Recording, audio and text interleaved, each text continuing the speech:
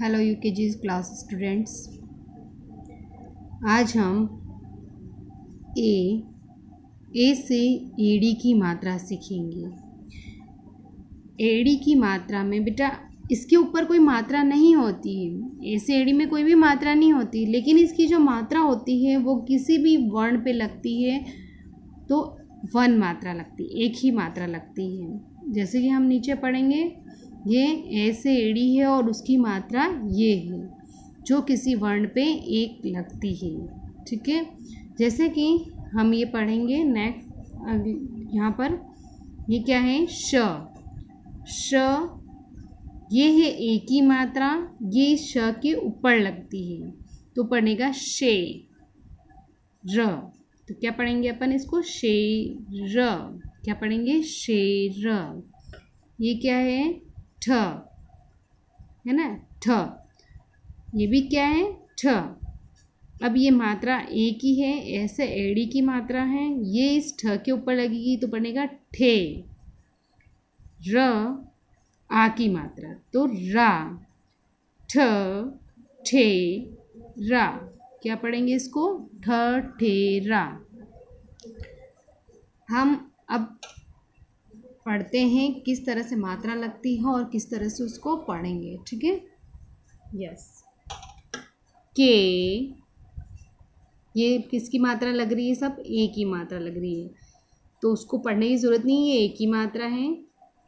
Directly आप पढ़ना सीखो, इस तरह से मात्रा किसी के भी ऊपर लगी हुई है तो हम उस वर्ड्स को क्या पढ़ेंगे? जैसे क पे लग रही है तो क्या पढ़ रहे हैं हम? के ख पे लग रही है तो खे घ पे है तो गे, ठीक है? इस तरह से हम पढ़ेंगे। गे, च में लग रही है? चे छ में है? छे। ज में है? जे। ज में है? जे। अब मैं बार बार वर्ड्स को नहीं, वर्ण को नहीं बोलूँगी, मैं डायरेक्टली पढ़ रही हूँ। बोलो, के, खे, गे गे, चे, छे, जे जे टे ठे डे ढे, णे, ते, थे, दे दे ने, पे, फे, बे, भे, में, ये, रे, ले, वे, शे शे, से, हे, शे, त्रे गे श्रे। एक बार वापस रीड करते हैं हम। के, खे, गे गे चे छे, जे जे। टे ठे डे ढे, ने। ते थे, दे दे, ने, पे, फे, बे बे, में, ये, रे, ले, वे, शे शे, से, हे, शे, त्रे गे श्रे अब हम वर्ड्स रीड करते हैं।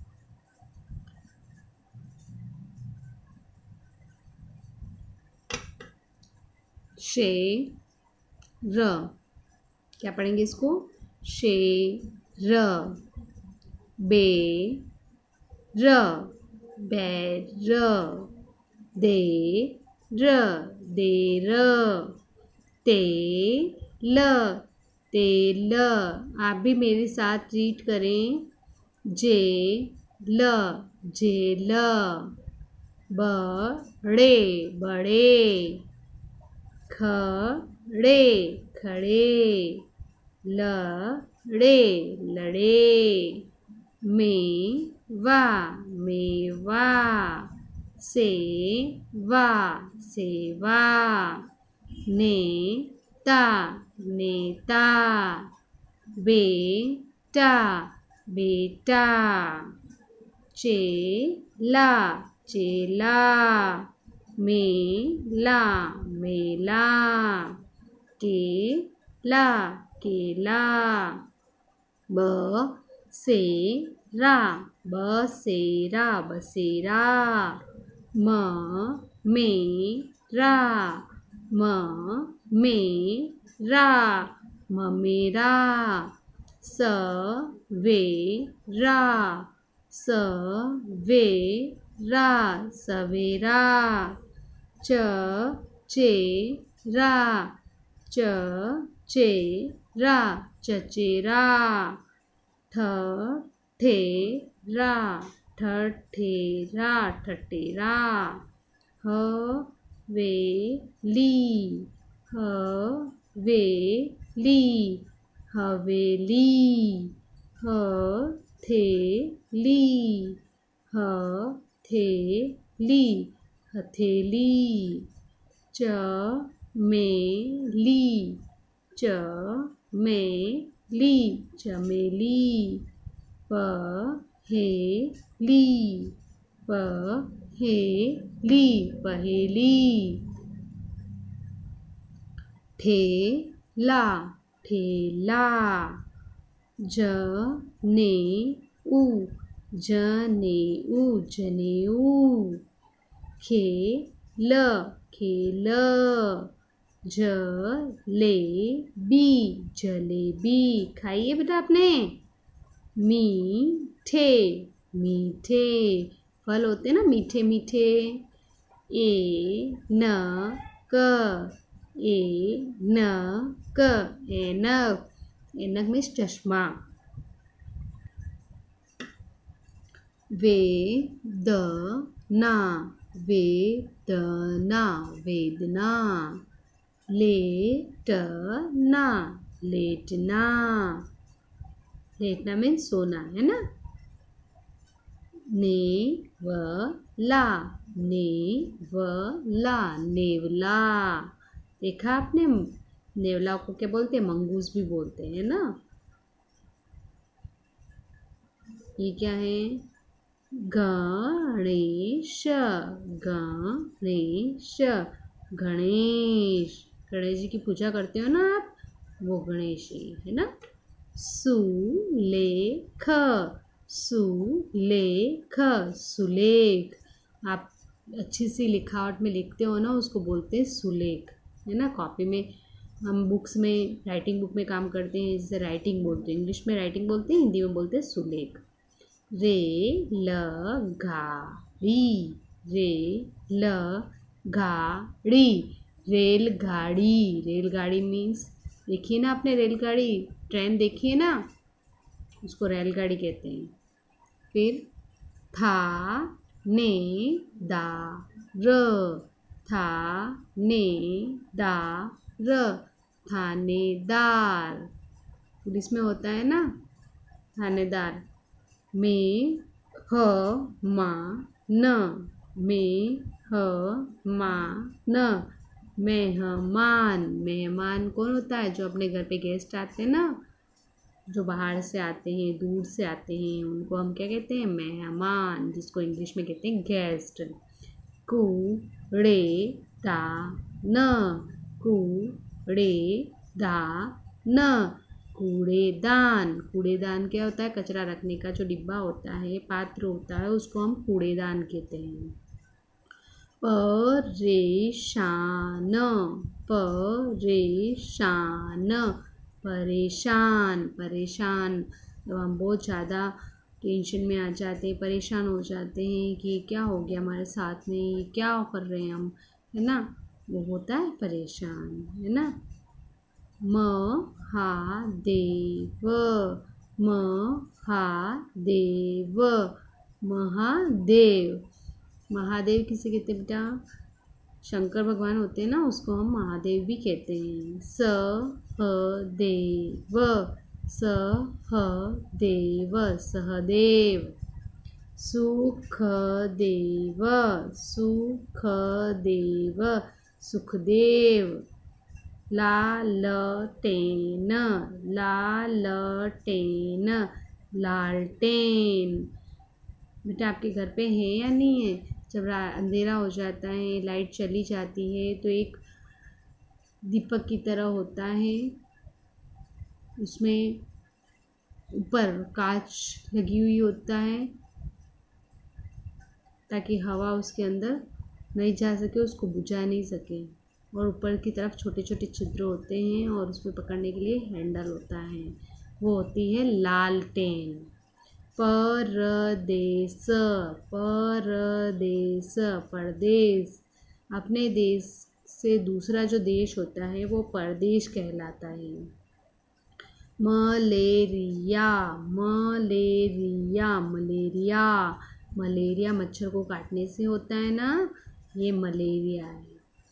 लपेटना लपेटना लपेटना। धागे को अपन लपेटते हैं ना तुम पत, कोई पतंग उड़ाता है भैया वगैरह आपके, वो फिर क्या करते हैं, धागे को क्या करते हैं, समेटते हैं तो उसको कहते हैं लपेटना।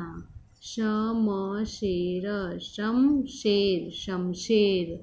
अब मैं ये अच्छे से आपको रीड करना है और पढ़ना है। जितना आप पढ़ना सीखोगे, उतना अच्छे से कर पाओगे। अब मैं आपको कॉपी में वर्क बता रही हूँ, कैसे करना है। क्या कर रखा है? सबसे पहले हमने क्या लिखा हुआ है? ए ए की मात्रा। दिख रहा है ना आपको ये ऊपर? ए की मात्रा। ये की मात्रा है। अब मैंने कुछ वर्ण लिख रखे हैं। क से लेकर ज्ञ तक जो वर्ण लिख रखे हैं, उन वर्णों पे हमें एक ही मात्रा लगानी है।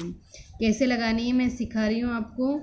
कोई भी गलत मात्रा नहीं लगाएगा, गलत ढंग से नहीं लगानी है। आपको क्या करना है, ये क के बीच वाला डंडा है, इस डंडे के ऊपर ही मात्रा को ले जाके मिलाना है। तो ये बनेगा के। ख में इस डंडे के ऊपर ही ले जाके मिलाना है, खे। घ में लगाएँगे हम, गे। गे। चे छे जे जे, टे ठे डे ढे ने। जिस तरह से मैं मात्रा लगा रही हूँ, उसी तरह से आपको लगानी है। ठीक है? तो सुंदर भी लगता है। ते, थे, दे दे, ने। ये मात्रा हमेशा पीछे जो लाइन होती है ना, इस लाइन के ऊपर ही मात्रा आएगी, ठीक है? पे, फे, बे बे में, ये, रे, ले, वे, शे, से से, हे, शे, त्रे, गे।